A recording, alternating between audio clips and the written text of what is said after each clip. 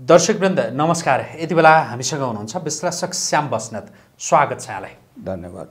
अहिले नेपाली सेनाको त्यो सङ्ख्या घटाउनुपर्छ भनेर एकजना पूर्व परराष्ट्र मन्त्रीले भनेको भन्ने विषयलाई लिएर यसको व्यापक आलोचना भइरहेछ र केहीले समर्थन गरिरहेछन्। उहाँको यो अभिव्यक्तिलाई तपाईँ कुन रूपमा लिनुहुन्छ?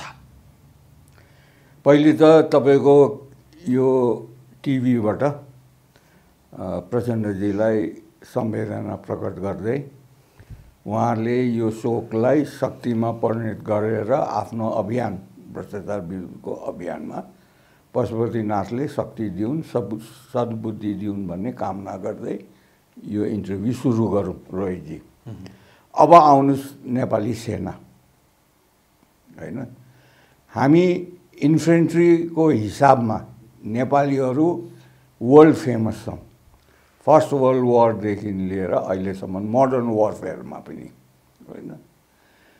तपाईँलाई नेपाली सेनाको हिस्ट्रीमा त म नजाउँ त्यति जान्दे जानेको पनि छैन मैले। नेपाली सेना अगर नहुँदो हो त सत्र सालमा स्टेबिलिटी आउने थिएन।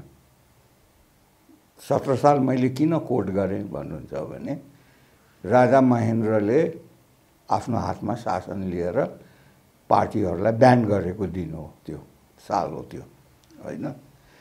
चाहे त्यसमा विदेशीको हात होस् इन्डियाको हात होस् तर इन्टर्नली नेपाली सेनालाई ले साथ नदिएको हुँदो हो त नेपालमा एउटा एक किसिमको चाहिँ आम विद्रोह हुन सक्ने चान्सेस थियो र त्यस बेला इन्डियाले हामीलाई लान्थ्यो पहिलो कुरा त्यो। त्यसपछि तपाईँ छ्यालिस सालमा हेर्नुहोस्। छ्यालिस सालमा नेपाली सेना चाहिँ डेमोक्रेट्सहरूको साथमा नउभिएको भएदेखि बहुदल फेरि आउने थिएन। राजा त्यतिखेर उठ्यो होइन के? हाम्रो वीरेन्द्र। राजा वीरेन्द्रलाई पनि यो चाहिँ सेना चाहिँ उतार्नु हुँदैन भन्ने त सेना नै हो नि त। त्यो मान्छेलाई थाहा छ कि छैन। बैसठ के अरे उन उन्साठीमा पनि जब भ्रष्टाचार अति भयो र शेरबहादुरजीले देश चलाउन सक्नु भएन र राजा ज्ञानेन्द्रले आफ्नो हातमा शासन लियो त्यस बेलामा पनि से सेनाले राजा ज्ञानेन्द्रलाई साथ नदिएको भए यहाँ अर्को अराजकता सिर्जना हुन्थ्यो। बैसठी सालमा पनि जब जनआन्दोलन भयो त्यसमा पनि सेनाले चाहिँ जनतालाई साथ नदिएको भएदेखि यहाँ अर्कै परिस्थिति हुन्थ्यो धेरै खुन खराब हुन्थ्यो नि त। अब अहिले आएर चाहिँ यो किन भइराखेको छ खास गरी मैले देख्दैछु भने कि त एमालेको तर्फबाट भइराखेको छ कि त यी नयाँ जुन अमेरिकन ट्रेन्ड या विदेशी ट्रेन्ड जुन जतिजना एमपिजहरू छन् या बुद्धिजीवीहरू छन् तिनीहरूबाट भइराखेको छ। किन मैले चाहिँ मेरो चाहिँ आफ्नो विचार के छ? रोहितजी भन्नुहुन्छ भनेदेखि देश एउटा यस्तो स्टेजमा पुगिसक्यो कि यहाँ विद्रोह हुन्छ। त्यो विद्रोहमा सेनाको रूप के हो? सेना कसको साथमा छ? त्यसलाई न्युट्रलाइज गर्नको लागि आज सेनाको को चाहिँ क्रिटिसाइज गरिराखेको छ। आज तपाईँ भन्नुहोस् त सेना नहुँदो त यी बाढी पीडितलाई कसले राहत दिन्थ्यो? पहिरो पीडितलाई राहत कसले दिन्थ्यो। जब यहाँ चाहिँ ऊ भयो के अरे कुनै रोग फैल्यो अस्ति कोरोना फैलिएको थियो त्यसमा सेनाले कति योगदान दियो यो चिज कसले नबुझेको छ? यो सडेको व्यवस्था सेन्डिकेटको सरकार सेन्डिकेटको सिस्टमले देशलाई यो डुबाइसकेकोमा पनि अहिले पनि किन टिकिराखेको छ र किन चाहिँ यो व्यवस्थामा अहिले नेताहरू र समाज भड्केको छैन भनेदेखि अझ पनि नेपाली सेनाको आश छ जनतालाई। तपाईँलाई मजाको कुरा म भनौँ रोहितजी। अहिले जुन कारवाही गर्नुभएको छ प्रचण्डजीले भ्रष्टाचारको अगेन्स्टमा मैले एउटा टिभीमा पहिले पनि भनेको छु यसमा विदेशी शक्ति अमेरिका चाइना इन्डिया तिनटेको समर्थन छ। र त्यसमाथि सबैभन्दा ठुलो समर्थन तिन करोड नेपाली जनताको छ। जो चाहिँ त्राहिमाम छन् अहिले अहिले जुन अहिले हामीलाई आर्थिक विपत्ति जुन चाहिँ छ त्यसबाट त्राहिमाम भएर चाहिँ यी जबसम्म भ्रष्ट नेताहरू हट्दैनन् भ्रष्ट सिस्टम हट्दैन भ्रष्टाचार हट्दैन या कम हुँदैन तबसम्म जनताले राहत पाउँदैन भन्ने कुरा हाम्रो नेपाली जनताले बुझिसकेको छ। त्यसको गुरु चाहिँ तपाईँहरूको यो क्यामेरा हो। तपाईँहरूको यो क्यामेरा अगर नहुँदो हो त हामीले त बोल्ने ठाउँै पाउँदैन थियौँ नि त। म यहाँलाई रोकेँ जस्तो अघि मैले सोधिरहेको थिएँ नेपाली सेनाका सन्दर्भमा जसरी प्रश्न उठाइयो होइन उठ्यो त्यो पनि कसबाट भने देशको एकजना पूर्व परराष्ट्र मन्त्रीका तर्फबाट हुन त अन्य नेताहरूका तर्फबाट पनि योभन्दा अगाडि नउठेका होइनन्। यसलाई कुन रूपमा विश्लेषण गर्ने? मैले त भने देश एउटा यस्तो स्टेजमा पुगिसक्यो यो अहिले जुन कारवाही सुरु गरेको छ प्रचण्डजीले होइन यो प्रचण्डजीले भनौँ न गरेको छ। अब यहाँ देश यो लजिकल एन्डमा पुगेन। या ठुल्ठुलालाई समात्नुपर्ने स्थिति पऱ्यो भनेर भने एमालेको ओलीजीलाई समात्नु पऱ्यो भनेदेखि यहाँ एमालेका कार्यकर्ता सडकमा ओर्लिन्छन् देउबाजीलाई समात्नु पऱ्यो भनेर भनेदेखि कङ्ग्रेसका कार्यकर्ता चाहिँ सडकमा ओर्लिन्छन् त्यस्तो अवस्थामा नेपाल आर्मीको चाहिँ अब जरुरत पऱ्यो त्यो जरुरत पर्दाखेरि के हुन्छ? भनेदेखि भ्रष्टाचारी कारवाहीको भ्रष्टाचारी विरोधको कारवाहीलाई लजिकल एन्डमा पुर्याउनको लागि सेनाको समर्थन नभइकन प्रचण्डजीले पनि सक्नुहुन्न हेर्नुहोस्। एक्सटर्नल चाहिँ छ। त्यो चिज जब चाहिँ सेना चाहिँ फिल्डमा ओर्लिन्छ र यिनीहरूलाई नजरबन्द गरिदिन्छ यी नेताहरू जुन पार्टीका नेताहरूलाई त्यस बेलामा यो सिस्टममा चाहिँ परिवर्तन आउँछ। त्यसको डरले चाहिँ अहिले क्रिटिसाइज गरेर चाहिँ सेनालाई बदनाम गर्न खोजेको छ। तर तपाईँ लेखेर राख्नुहोस्। अहिले जसरी तिन करोड नेपालीले चाहिँ प्रचण्डजीलाई साथ दिएको छ यो भ्रष्टाचारको अभियानको विरोधमा नेपाली सेनाले सडकमा ओर्लिँदाखेरि सारा देश एक हुन्छ र यो व्यवस्थामा परिवर्तन आउँछ। भनेको सेनाले एक्सन लिन सक्ने त्यो डरका कारणले अफकोर्स भन्नुभयो अफकोर्स किनभने त्यस्तो केही सङ्केत देखिएको छ र त्यो डर? त्यो परिस्थिति आइसकेको छ। तपाईँलाई म बताउँ अघि। जब जनता चाहिँ सडकमा ओर्लिन्छ नि त्यसको नेतृत्व कसले गर्छ? पक्कै एमाले गर्दैन किनभने उसैको टप नेता जब जेल जान्छ भने पक्कै कङ्ग्रेसले गर्दैन किनभने उसको टप नेता चाहिँ जब जेलमा जान्छ भने।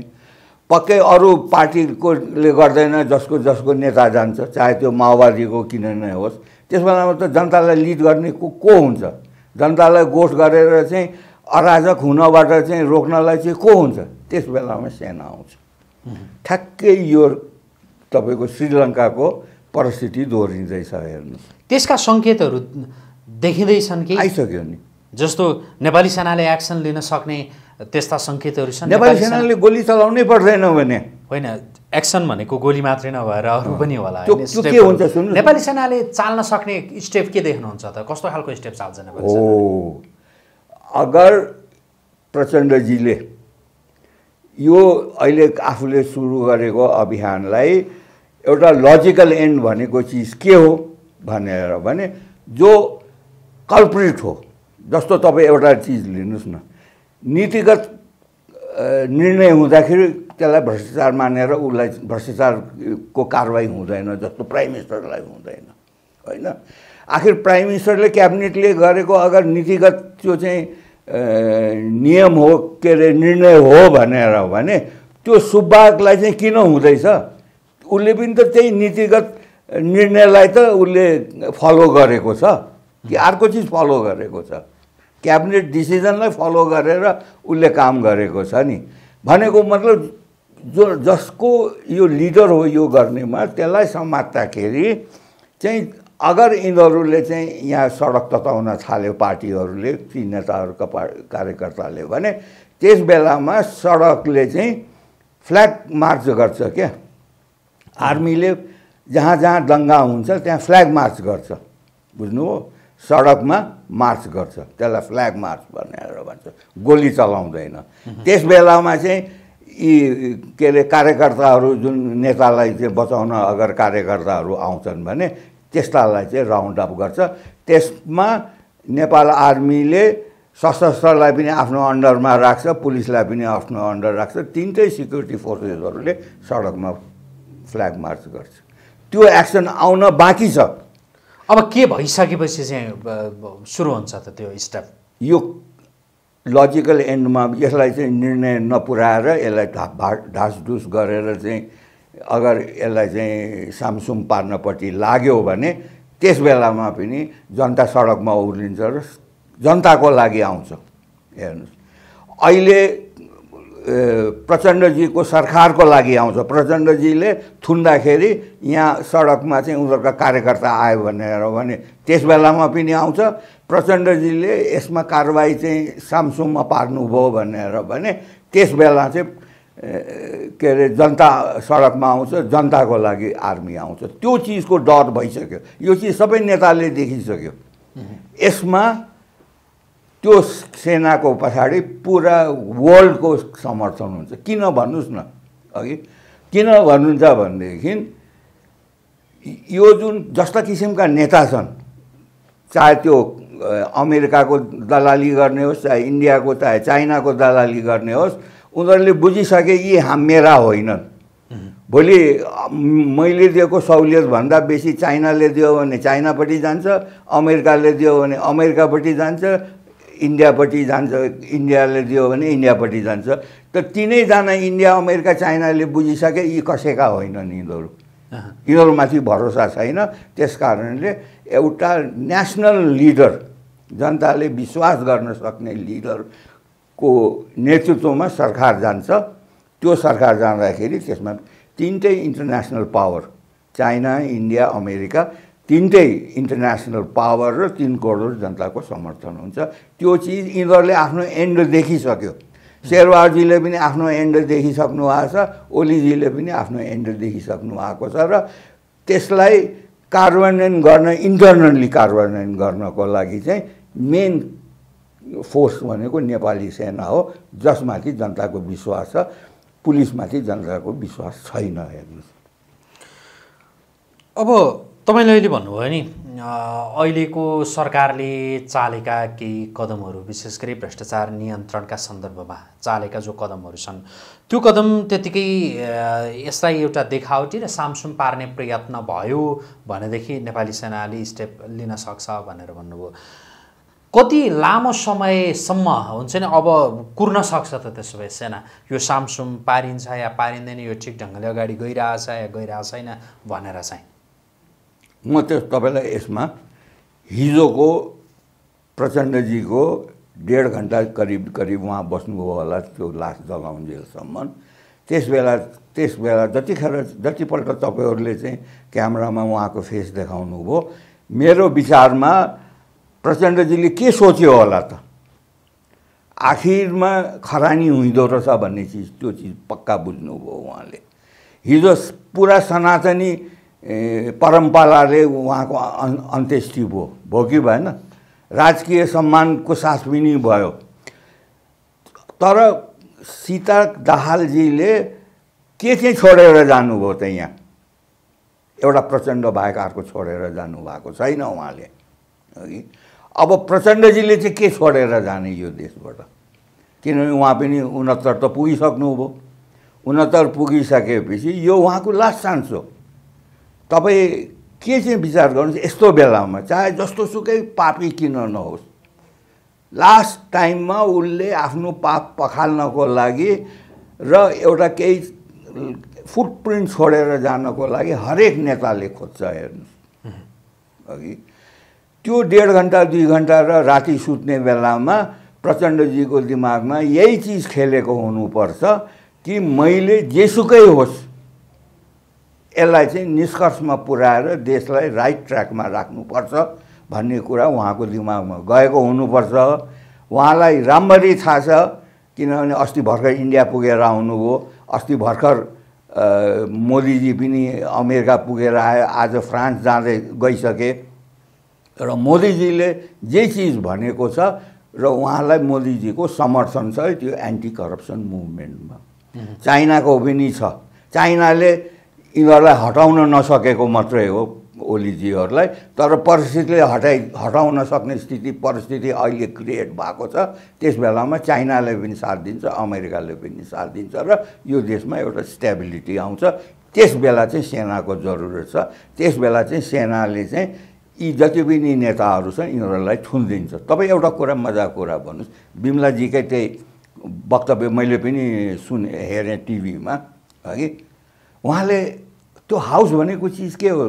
राष्ट्रको लागि बोल्ने ठाउँ हो नि त्यहाँ त यो सिस्टम हामीलाई महँगो पऱ्यो वर्षको चाहिँ हामीले पाँच पाँच खरब चाहिँ ऋण गर्नुपर्छ सात खरब ऋण नभइकन हुँदैन भनेर भने त्यसलाई सुधार्ने चाहिँ समानुपातिक हामी खत्तम गर्छौँ। उहाँ पनि मनोनित भएर आएको हो नि त।